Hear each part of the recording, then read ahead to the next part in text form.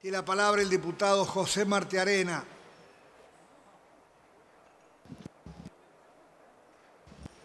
Gracias. En primer lugar, adherir en todo a lo expresado por el diputado Felipe Solá y expresar que los graves hechos sucedidos en Bolivia recientemente no pueden considerarse como un hecho aislado, señor presidente.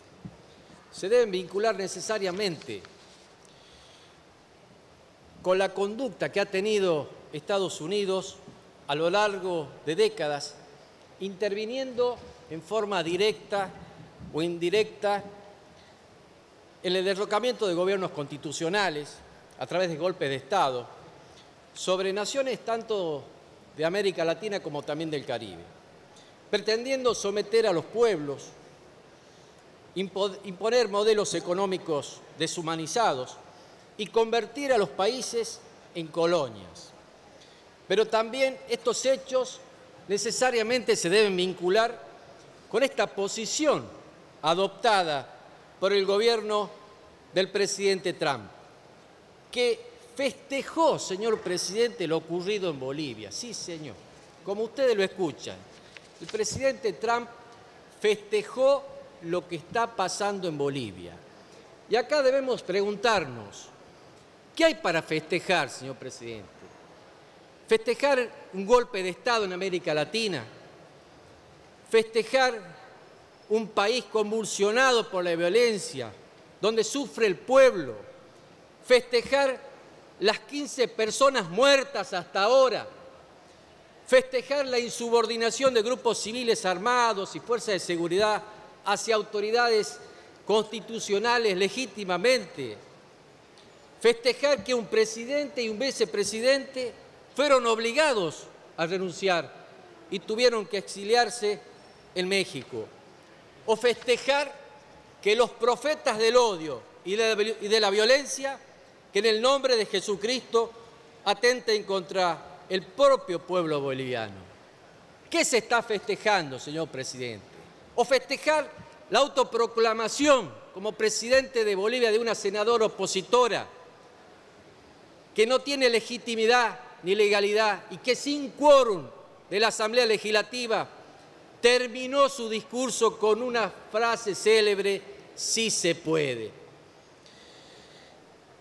El gobierno del presidente Macri, con su silencio, está avalando este golpe de Estado. Y desde, desde esta banca y en representación del pueblo de Jujuy, vengo a repudiar enérgicamente el ataque a la institucionalidad de la hermana República de Bolivia y el atropello a su pueblo. Permítame, señor presidente, señores diputados, recordar lo que el general Juan Domingo Perón hace 66 años atrás nos decía. Fue un 11 de noviembre de 1953. Ya nos alertaba Juan Domingo Perón, diciéndonos que el año 2000 nos va a encontrar unidos o dominados. Pero también nos dijo que llegaba el momento y el tiempo de unir, a, Latinoamérica. Latinoamérica ahora o nunca.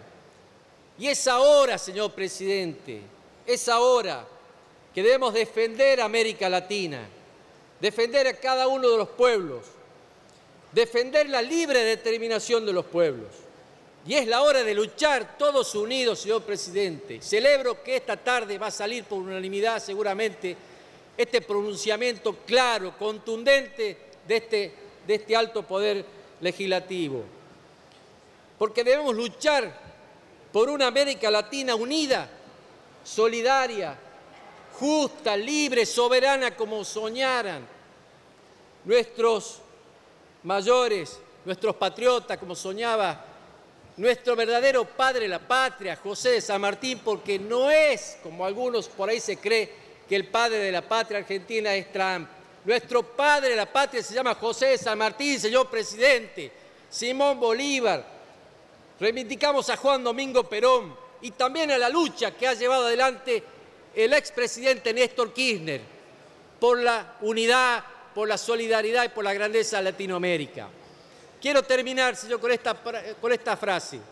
No hay hombres que todo lo pueden, hay pueblos que todo lo pueblen. Y el pueblo de Bolivia eligió a Evo Morales.